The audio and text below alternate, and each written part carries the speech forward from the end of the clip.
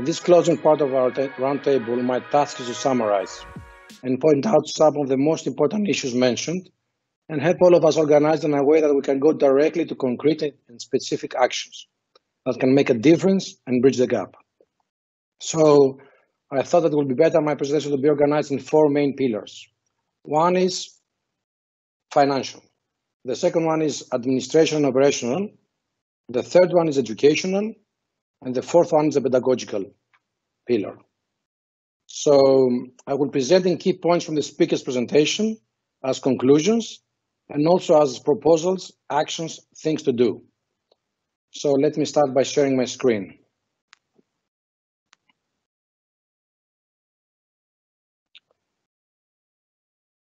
So we start with conclusions and proposals. First pillar is the financial aspects. I picked this graph so you can see what is already happening. It's uh, from Eurostat and OECD. Economic decline in the second quarter of 2020.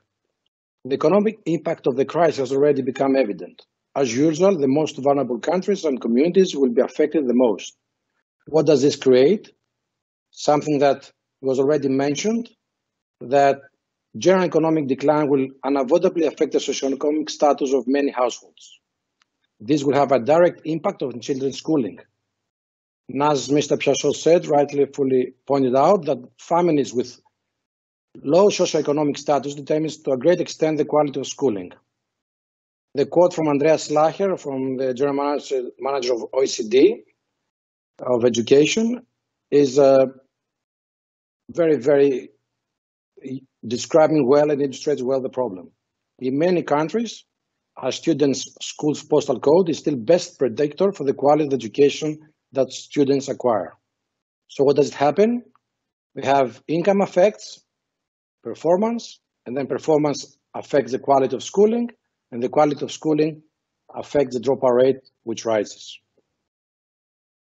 The numbers show that we have about, as Mr. Patrinos already mentioned, unavoidably, according to the, report in August 2020, the models project a future earnings gap of 11,000 at the individual level, or between 10.10 trillion for the whole global cohort. In high-income countries, the projected individual earnings gap is about 21,000, or between 3.4 trillion on the whole cohort. So we see a large number of declining on the income of people. So what are the proposals? How, what can we do about correcting this? First of all, we can protect education financing and coordinate for a better impact. Raise the amount spent on education, or at least don't make it lower because a country will have a, a crisis. Second, we can strengthen international coordination to address the debt crisis devote budgets on investing, inventing the classroom. So spend not only in the infrastructure, but also on the professional development of the teachers.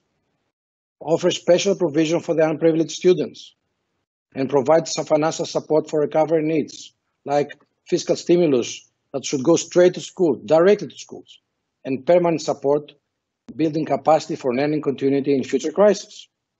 Expand the definition of the right to education to include connectivity it is very important. We heard it from all our speakers. We need to be connected.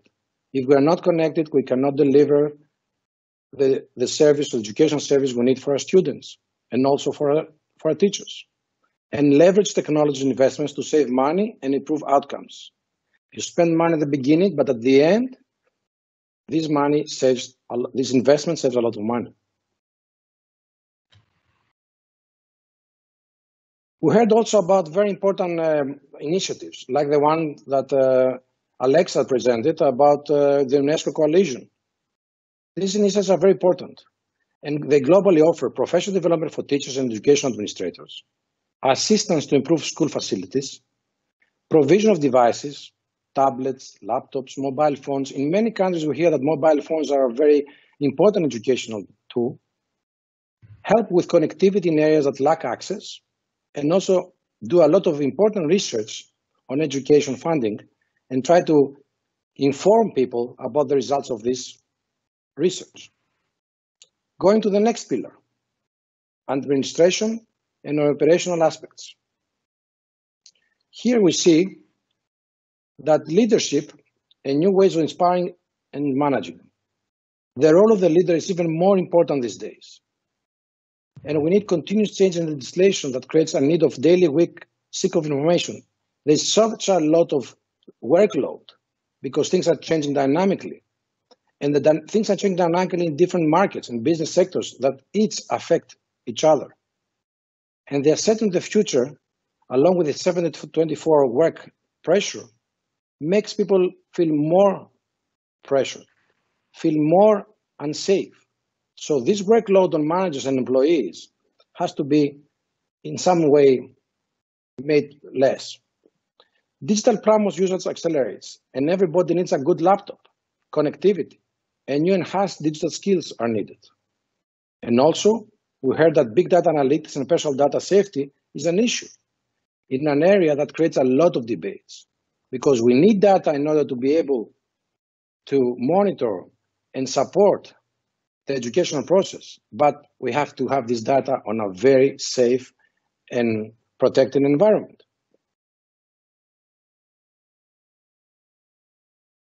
What are the proposals on this pillar? Starting from the ensure strong leadership and coordination. We are all together in this, and we, we should support the educational leaders to be ready in order to achieve what they have to achieve. Enhance consultation and communication mechanisms.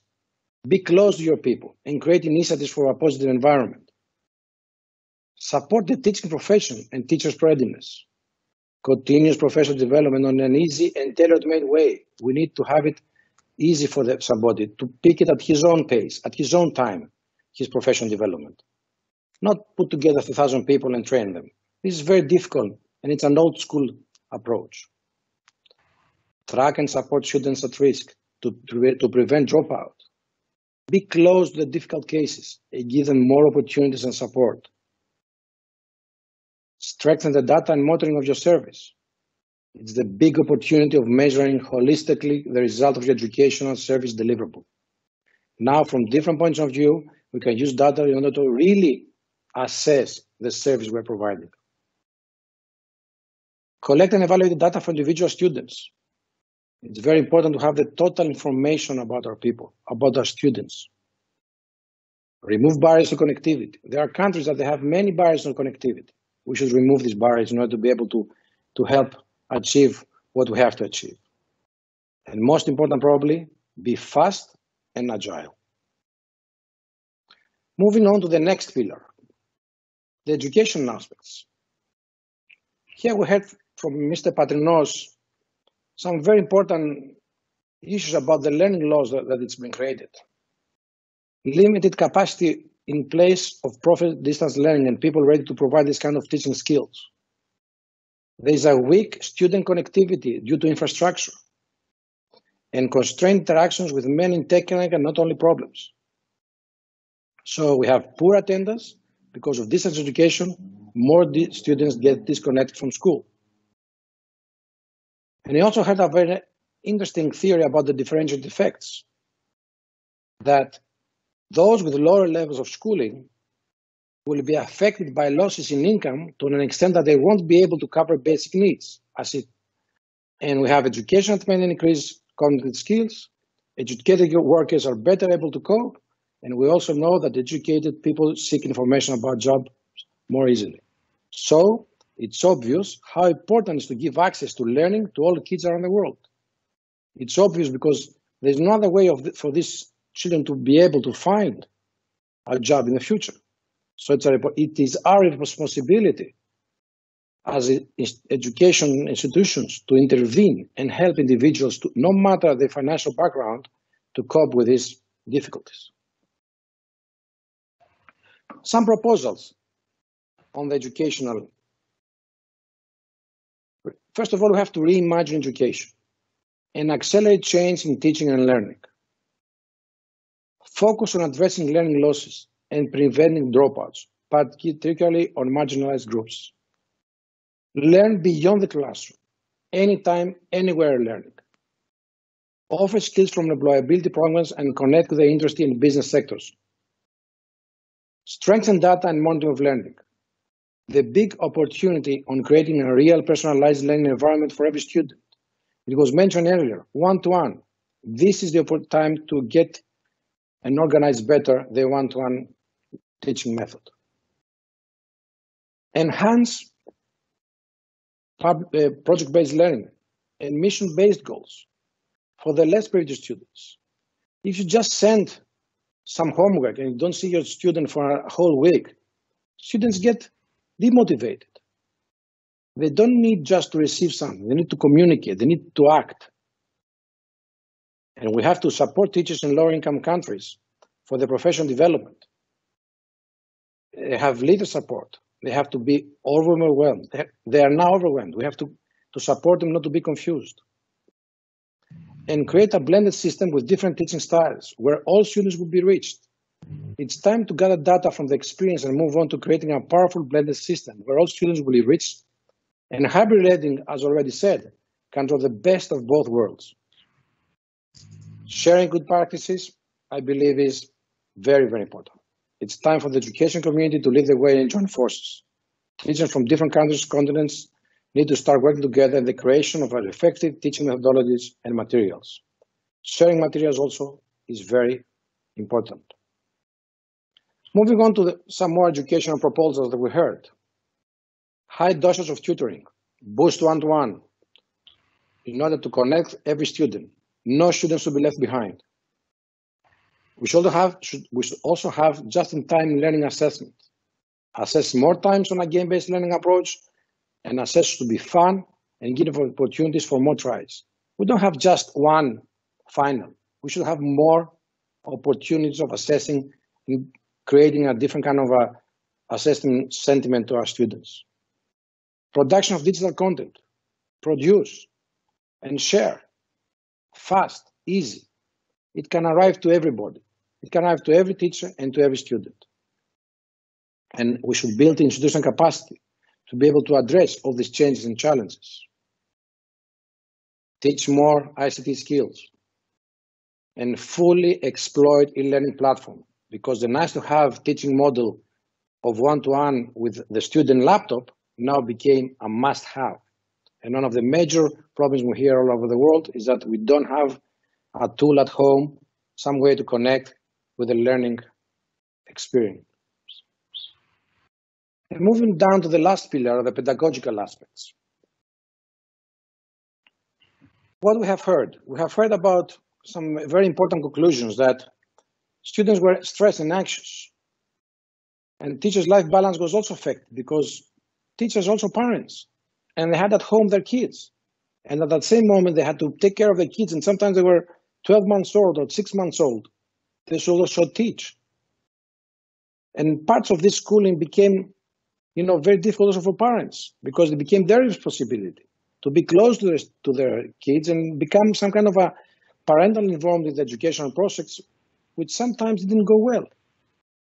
And also that the change in the way students interact was also very important because students go to school not so much because of math and chemistry and, and, physics. They go to school because they want to see their friends.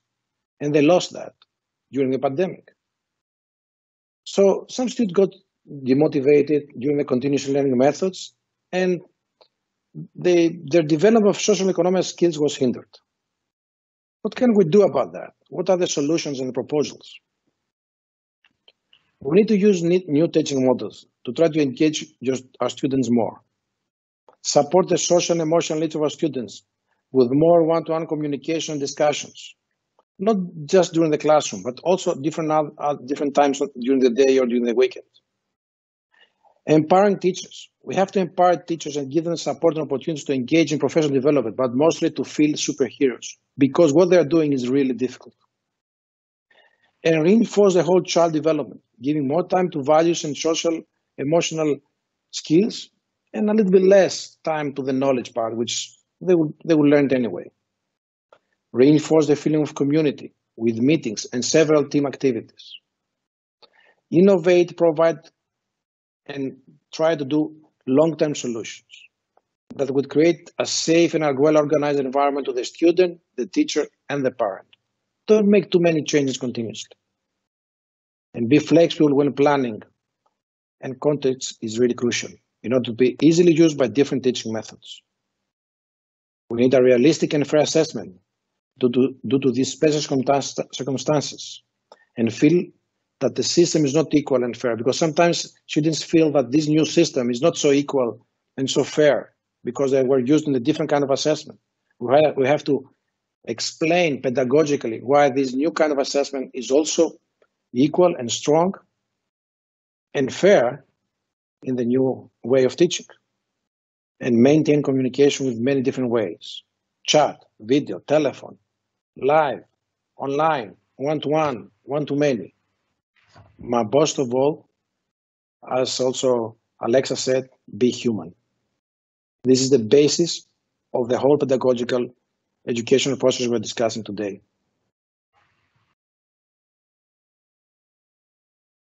So I think it's time to grab the opportunity. COVID-19 is a threat, yet it is.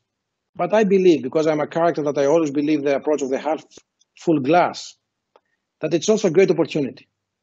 We must grab it, approach issues in a dynamic way. And the most important, the first step we have to do is to change our mindset and declare that everything is possible and we will achieve it.